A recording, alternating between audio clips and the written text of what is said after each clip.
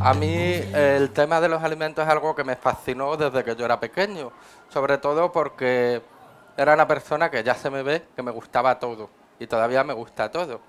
Entonces el problema que hay ahora es que ahora hay muchos alimentos procesados y los niños pues no quieren comer verduras, prefieren comer alimentos procesados. Y entonces, ¿cómo podemos hacer nosotros para que los niños, vosotros que sois más jovencitos, os comáis las verduras que os ponen vuestros padres? Pues tendremos que darles una apariencia muy diferente. Pero antes de empezar la charla, quiero saber si todos los asistentes ven bien los colores. Aquí tenemos un test clásico que se hace en óptica, se denomina el test de Ishihara, y entonces espero que todos vosotros podáis ver en la primera casilla el número 7, si alguien no lo ve, que levante la mano. ¿No ves el número 7? ¿Qué número ves? Ninguno. ¿Qué ves en la casilla esta de aquí? Eh, no, no tengo... Aquí. ¿Qué número ves aquí? ¿El? 12, vale. ¿En la segunda ves el 12 también o ves otro número diferente? En la segunda de arriba. Nada, vale. No te preocupes porque hay personas que no pueden ver todos los colores y a eso se le denomina daltonismo. No es ningún problema, simplemente es algo genético, pero que se puede solucionar mediante el estudio de los diferentes colores y la comprensión de los mismos. Como vemos, no todos los que estamos aquí tenemos la capacidad de ver todos los colores. ¿Cuántas veces han pensado usted en si ese rojo lo vemos todo igual de rojo? Porque mucha gente lo verá rojo muy chillón y otras personas lo verán rojo más granate. Y suele pasar mucho, sobre todo con el verde aguamarina, que unos lo llaman verde y otros lo llaman azul. Tenemos aquí cuatro imágenes en, las cuales, en las cuales hay colores. Y son los colores que nos proporciona la naturaleza. Pero es que estos colores nos están enviando un mensaje. ¿Qué le sugiere a usted la imagen? Las cuatro fotografías juntas.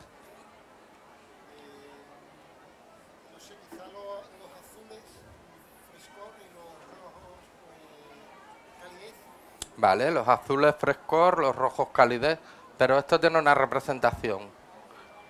Hay cuatro. ¿No se te ocurre nada? Ahora mismo estamos en pleno abril. La primavera. Muy bien. Cada una de las imágenes representa los colores que vemos nosotros en cada una de las cuatro estaciones del año. Los colores nos están mandando un mensaje. Además, no solamente los colores de la naturaleza, sino también nos transmiten un lenguaje. Como vemos, tenemos el mandril, el pavo real, con esos colores atraen a las próximas progenitoras de sus hijos. Tenemos a las ranas de Costa Rica o tenemos a la seta amanita, la cual nos está avisando con ese color rojo intenso que son venenosas. Además, las abejas tan importantes en nuestra naturaleza se sienten atraídas por los colores. No todas las flores de todos los colores reciben abejas, porque a ellas les pasa lo que a nosotros, les gustan los colores. Pero si yo os hago una pregunta ahora mismo sobre qué es el color, ¿alguien me lo sabría definir? Que levante la mano. Dime qué es el color. Vuestra compañera dice que es la longitud de onda que se refleja y que se absorbe, que es lo que vemos. Esa es la definición que me ha dado su compañera, la asistente que tenemos aquí delante. ¿Alguien me podría dar una definición más concreta, más cortita quizás? Fijaos que es algo con lo que contamos todos los días. Es decir, el color lo vemos todos los días, pero no sabemos definirlo bien. El color no es una longitud de onda. Es lo que tendemos a decir todos. El color tampoco es una propiedad de los objetos. No son los objetos lo que nos entra en los ojos. Esa cartera no es la que me entra en los ojos y me dice que esa cartera es roja. Lo que entra en el ojo en realidad es la luz. Y es, como decía vuestra compañera, que en eso sí ha estado acertada, es la luz que se refleja o la luz que se transmite. La luz se transmite cuando pasa a través de un objeto transparente. Y si les pregunto a ustedes de qué color es el tomate que vemos en pantalla, señora, ¿de qué color ve usted el, el tomate? ¿Pero usted cree que ese tomate es de color rojo? ¿Todos veis el tomate de color rojo? Sí. El tomate es de todos los colores, menos rojo. Por eso lo vemos rojo, porque se refleja. Entonces, eso que se refleja es la luz que pasa a través de nuestros ojos. Pero no solo eso, el color no es la luz que pasa a nuestros ojos, que se refleja o se transmite. Porque si no hubiera cerebro, pues no habría colores. El cerebro interpreta la luz que pasa a través de nuestros ojos y lo interpreta como color. Por eso algunas personas no son capaces de ver todos los colores. En definición, la más cortita y la más concreta podríamos decir que el color es la respuesta que da nuestro cerebro a la luz, que se refleja o que se transmite. Y eso lo hacemos a través del sentido de la vista. Como decía antes Miguel, nosotros cuando nos acercamos a un alimento siempre evaluamos con nuestra vista si nos apetece comerlo o no nos apetece comerlo, porque la apariencia y el color de ese alimento es el que nos va a decir si está en condiciones para comerlo o para no comerlo. Y ya puestos en el color de los alimentos, deciros que tenemos colores, alimentos de todos los colores, desde el blanco hasta el negro, de todos los colores. Y esos colores se los dan los pigmentos. Por ejemplo, en el caso del vino, de las fresas, de los frutos rojos, son los antocianos, que son moléculas químicas que componen eh, parte de su estructura. Los antocianos, la luz se refleja en esas moléculas y da color rojo. Por eso, en toda su gama, desde granate hasta el rosa. Los carotenoides son los colores que dan lugar al naranja de la zanahoria, al licopeno también del tomate, que el tomate en realidad lo vemos rojo, pero cuando no está del suficientemente maduro lo vemos de color anaranjado. Igualmente que los cítricos con los cuales nos hacemos el zumo por la mañana. Las clorofilas dan colores verdes. El aceite de oliva, cuando vamos al supermercado y lo compramos, siempre decimos, este amarillo que es más dorado es mejor que este que es más verde, más oscuro y más turbio.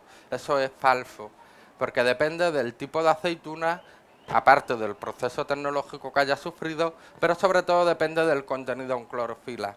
Por supuesto, un aceite de oliva más verde, más clorofila tiene. Los flavonoles, como las uvas vuestras, palominos finos, de aquí, de Jerez de las Fronteras, y vuestros maravillosos vinos generosos, desde el fino hasta el oloroso, porque nosotros vemos, por ejemplo, el Pedro Jiménez como un vino muy oscuro. Conocéis el Pedro Jiménez, ¿verdad? Y lo vemos como un vino de color marrón, pero en realidad es un vino blanco. Y es un vino que tiene muchísimos compuestos de flavonoles y fenoles. Hay otros compuestos menos conocidos para nosotros, como las betalainas, que son de productos sobre todo la pitaya, que es asiática, o la betala, o la betala que es como una especie de cebolla de Sudamérica. También nosotros tenemos color en nuestros músculos, tenemos hemoglobina y mioglobina. El jamón serrano es de color rojo por esos compuestos. Y luego ya algunos colores que están formados por los tostados, que de la cerveza, el pan, la miel, que son melanoidinas.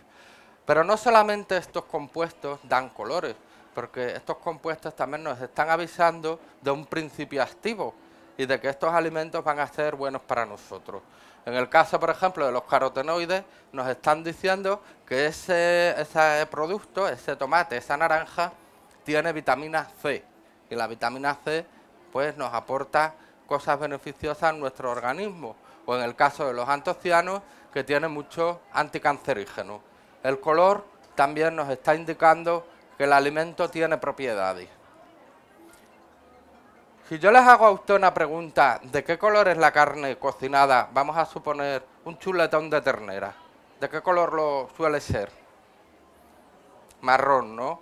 Si hacemos carne guisada, ¿de qué color se vuelve? Marrón. Y si hacemos una pechuga de pollo, beige, ¿no? Un marrón clarito. Entonces, ¿por qué el jamón cocido, el jamón de llores de color rosa? ¿No lo habéis pensado nunca?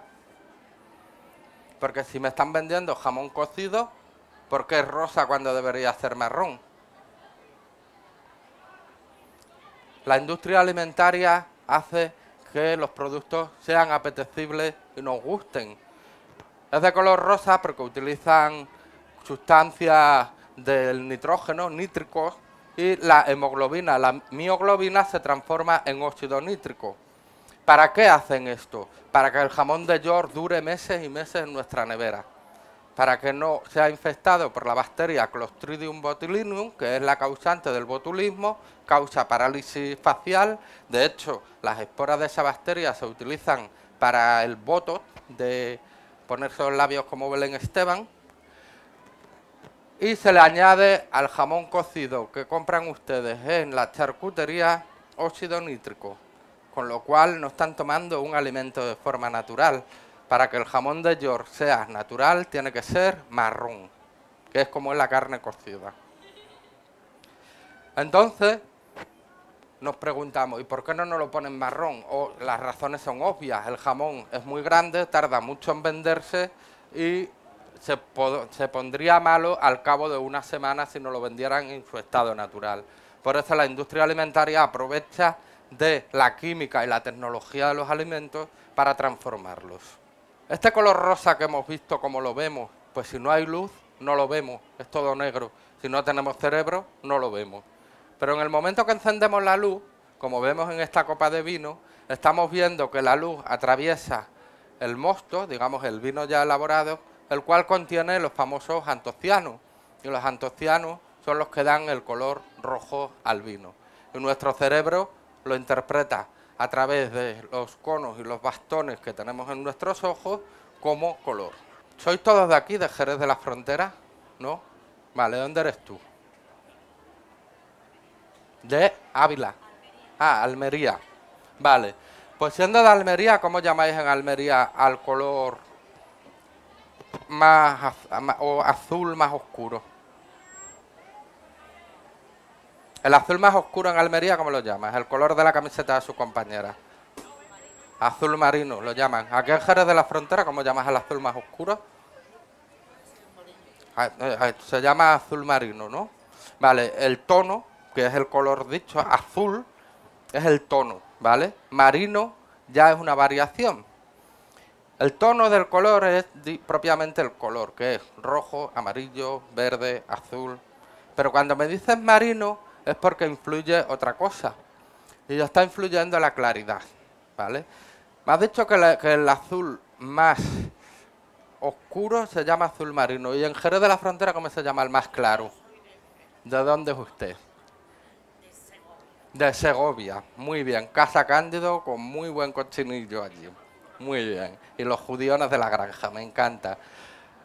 En Segovia el color azul más clarito, ¿cómo lo llama usted? azul cielo. Estamos haciendo una distinción entre un tono, que es el azul, del azul marino al azul cielo. Pero están ustedes equivocados, porque el azul más oscuro en Jerez, en Segovia y en Almería se llama negro. Y el azul más claro se llama blanco. Cuando hablamos de esa variación, estamos hablando de la claridad. Si no tenemos luz, el color va a ser el negro, porque no lo vemos, porque no llega la luz. Recordad que es la luz la que nos va a informar sobre el color. Pero es que tenemos más todavía. Tenemos la saturación. Cuando los padres van a tener un bebé, siempre arreglan la habitación que les sobra en la casa y normalmente vamos a pintarle la habitación al niño o a la niña, ¿no? ¿Y qué colores le suelen echar a la pared? Colores pasteles, los colores pasteles son colores, tonos poco saturados, no tienen mucha saturación. Sin embargo, la bombona de butano del butanero que nos sube la bombona a casa, esto sería un color naranja muy saturado. Entonces sería naranja butano.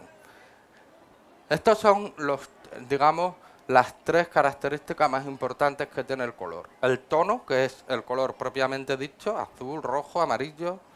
La claridad es la que me va a distinguir entre el azul marino y el azul cielo y el blanco y el negro. Y la saturación es la que me va a definir si un color es pastel, si es mate, si tiene brillo o si tiene mucha saturación y es fluorescente. Porque los colores fluorescentes son los colores más saturados, que dan esos colores metálicos, por ejemplo, del caparazón de los escarabajos. Pero también tenemos que tener en cuenta el tipo de iluminación que utilizamos. Ahora mismo aquí debajo de esta carpa la iluminación es fabulosa porque es natural, es del sol y no necesitamos encender esta lámpara. Por tanto, aquí veríamos un trozo de carne como realmente es, el color de la carne, si lo miramos aquí, este jersey es amarillo ocre y se ve así. Pero ¿qué pasa si yo me meto, si oscurece, encendemos esa lámpara? Pues que el color variaría bastante. Por eso es muy importante tener en cuenta dónde vamos a ver el alimento. Cuando vamos a la carnicería,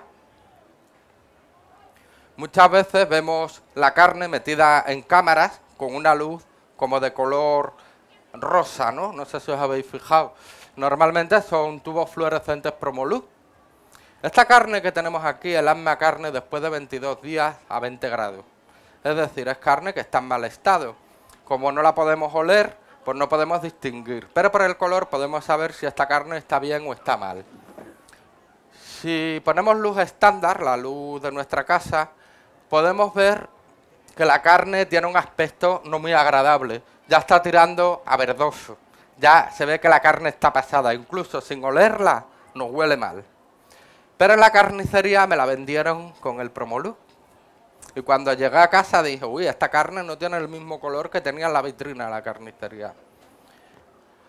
Otras carnicerías más legales, mejores tipos, lo que hacen es utilizar la luz normal, la misma que vas a ver en tu casa, pero le meten un filtro ultravioleta, lo cual también cambia el color de la carne y le da buen aspecto.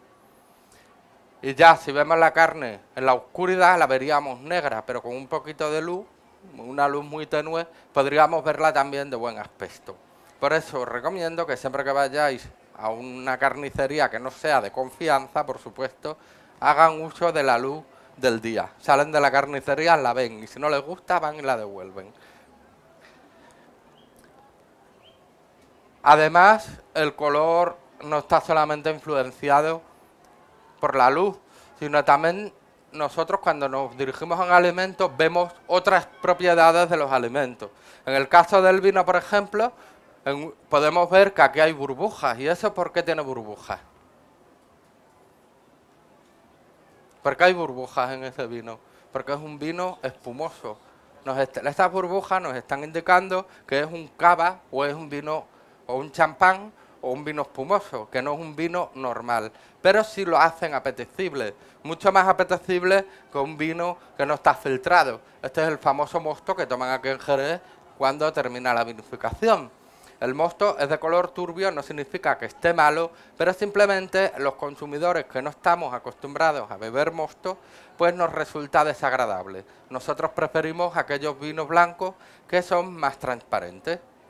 A veces, cuando nos bebemos un vino muy evolucionado, pues también nos encontramos en el fondo de la copa esas cositas. Y esas cositas nos hacen pensar que ese vino está malo. Y a lo mejor no lo hemos bebido y hemos dicho, pues no estaba tan malo, pero no entiendo por qué tiene estas cositas. Incluso antes de abrir la botella, vemos y lo rechazamos. Lo rechazamos porque pensamos que ese vino no está bien.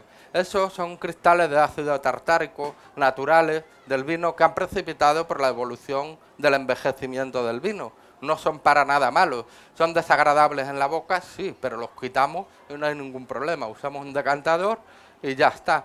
Pero eso también nos está haciendo si ese vino lo queremos o no lo queremos. Los que sabemos que eso es un cristal de ácido tartárico, sí queremos ese vino. Porque además sabemos que es un vino bueno y evolucionado. Los que no lo saben, pues nunca van a comprar un vino que se encuentren esos trozos de ácido tartárico en su interior. Y además el color, por ejemplo, una vez más en el caso del vino, también nos puede decir de en una copa que si tiene colores granates y violetas es un vino joven, un vino del año. Sin embargo, si el vino ya tiene colores anaranjados, significa que ya tiene más de 5 años en barrica o en botella, que es un vino, un crianza o un reserva. Eso significa que nosotros si vamos a comer a tomar un vino con una carne, lo ideal sería tomar un vino más fuerte, y sería un vino que tuviera tonos naranjas. Si queremos un vino más suave, sería un vino con tonos granates y violáceo. Eso es lo que hace que el color nos dé la información sobre el tipo de madurez del vino, al igual que de la uva. Nosotros cuando las uvas tintas son de color verde, o cualquier fruta nuestra cesta de las frutas que está muy verde, sabemos que esa fruta no la podemos comer porque todavía es ácida y al ser ácida hace que los compuestos que confieren esas frutas sean de color verde. Pero según va madurando y se va acumulando azúcares en las frutas, sucede el embero, que es el cambio de color, hasta tener las uvas de color tinta. El color también nos está informando de la madurez de un alimento. Vosotros lo sabéis con los plátanos, ¿no? Un plátano verde nunca lo comeréis. Un plátano amarillo con las pepitas negras ya sabemos que es un plátano que está maduro. Hay otros factores que influyen, como el, el ribete, el borde del vino. Cuando inclinamos la copa no es igual de rojo que si la tenemos recta. ¿Por qué? Por el efecto del espesor. Si en una copa echamos mucho vino, lo vamos a ver más rojo. Si echamos poco, lo vamos a ver más rosado. Y si la inclinamos, pues más rosado todavía. El espesor también hace que varíe la cantidad de luz que entra a través de la copa y cómo interpretamos nosotros el diferente color. ¿Cómo se mide el color? Existe una ciencia que se denomina colorimetría y puede ser mediante pruebas químicas y mediante aparatos físicos. Metemos una manzana en un aparato con una bombilla y con una cámara fotográfica y nos mide el color. Pero claro, esto lo podemos hacer en centros de investigación donde disponemos de esos aparatos que además es muy complejo porque tienes que hacer cálculos matemáticos para averiguar exactamente el color de un alimento. Pero ¿qué podemos hacer nosotros para ver el color en nuestras casas? Utilizar sistemas más sencillos como son las cartas, el libro de de Munchel, que ese libro lo venden en cualquier librería. Es un libro que se dispone de plaquitas pequeñitas de diferentes colores, con las cuales nosotros podemos comparar el color de nuestro alimento con el color que viene en el libro y te dice exactamente qué color es. Pero tenemos más cosas.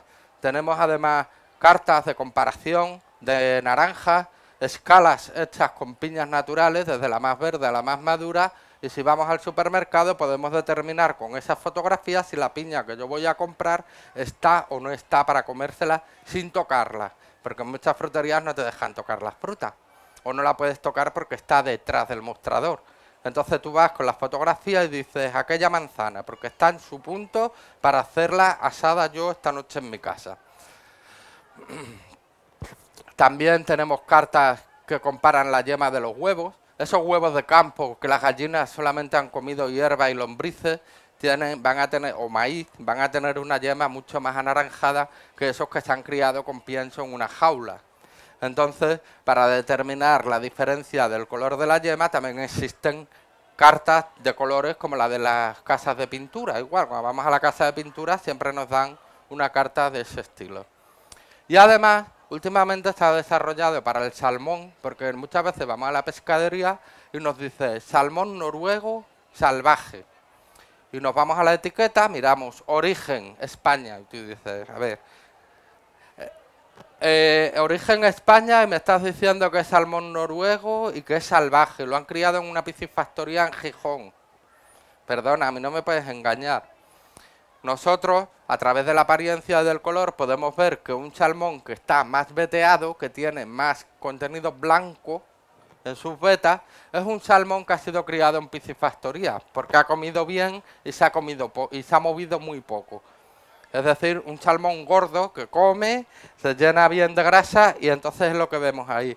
Un salmón salvaje, sin embargo, lo veríamos mucho más oscuro y con menos veteado graso.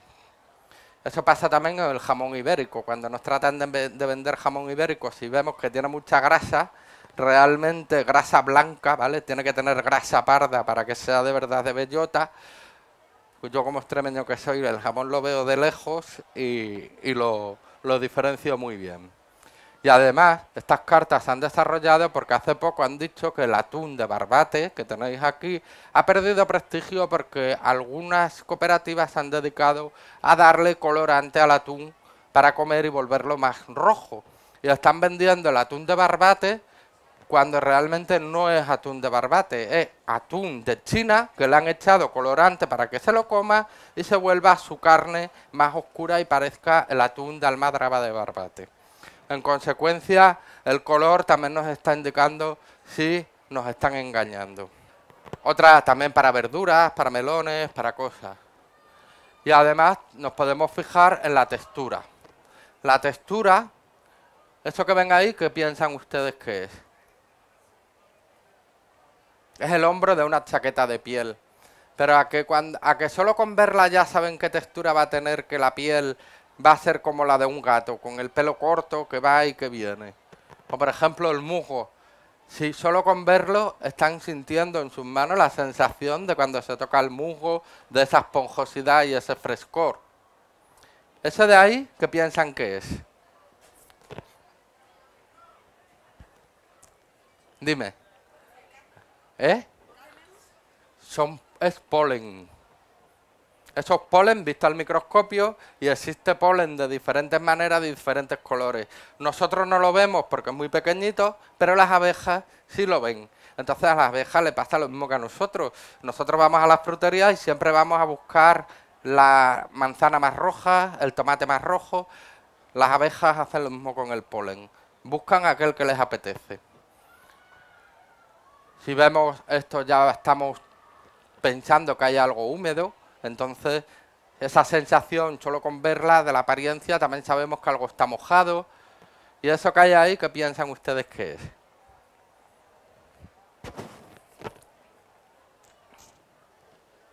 Es algo tropical, una fruta.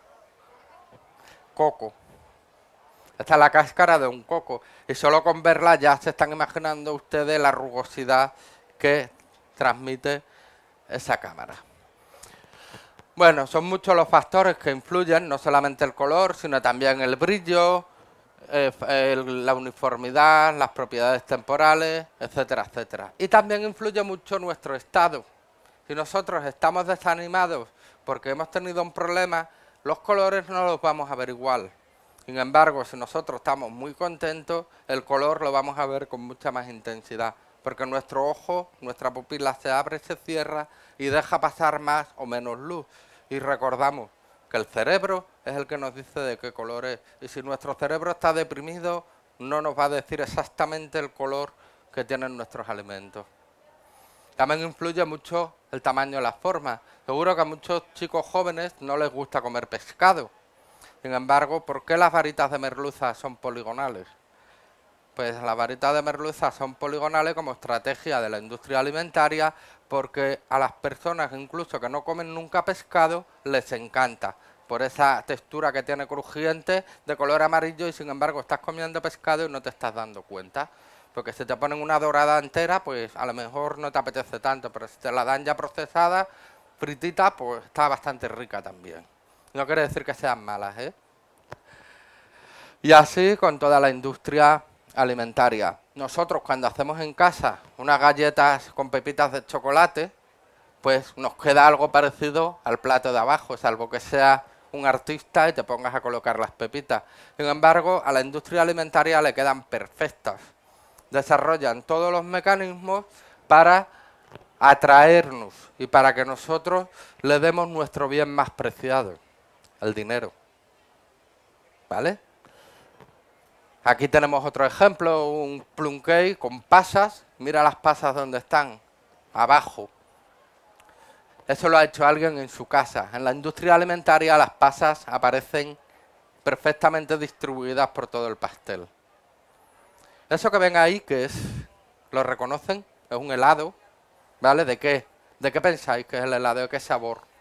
de, de vainilla. Muy bien. El helado de vainilla nos lo ponen así, amarillito clarito y todo, pero ¿de qué color es realmente la vainilla? La vainilla es blanca. ¿Han visto ustedes alguna vez la vainilla? La vainilla es negra. Entonces, ¿por qué me están vendiendo un helado de color blanco, clarito, cuando en realidad la vainilla es negra? Eso es otra de las estrategias de la industria alimentaria, porque el negro representa rechazo, tóxico, algo tóxico, algo que no queremos, sin embargo, le ponen un color más apetecible con el aroma de la vainilla. Y esto es lo que hace cambiar. Pero nos equivoca, porque nosotros todos hasta ahora hemos pensado que la vainilla era de color blanca y la vainilla es de color... Sí, la flor es cierto que tiene el mismo color. Sí, por eso he puesto, está la flor puesta, pero bueno, lo que es realmente la vainilla es marrón, negra. Aquí tenemos algo que le gusta mucho a los niños, que son las, las gominolas, ¿no? Las golosinas. La industria alimentaria también se ha encargado de prepararlo. Los osos de colores, cuando compramos una bolsa, la mayoría de ellos son de color rojo, porque el rojo es el color que más nos atrae. Cuando vamos a la frutería está demostrado científicamente que siempre en nuestra cesta de la compra la mayoría de los productos son rojos. Nos gusta más la sandía, nos gusta más las cerezas, nos gusta más las manzanas rojas, nos gusta todo aquello rojo porque es lo que más nos atrae. El color rojo porque nos representa dulzor y todo. Entonces, las bolsas de gominolas siempre son de ese color. Y simplemente deciros que no os preguntéis por qué la comida sana, la comida natural es tan cara. Más bien preguntaros por qué la comida rápida y la comida basura es tan barata. Así que aquí lo dejamos. Muchísimas gracias por su atención. Si tienen alguna pregunta, pues ya está.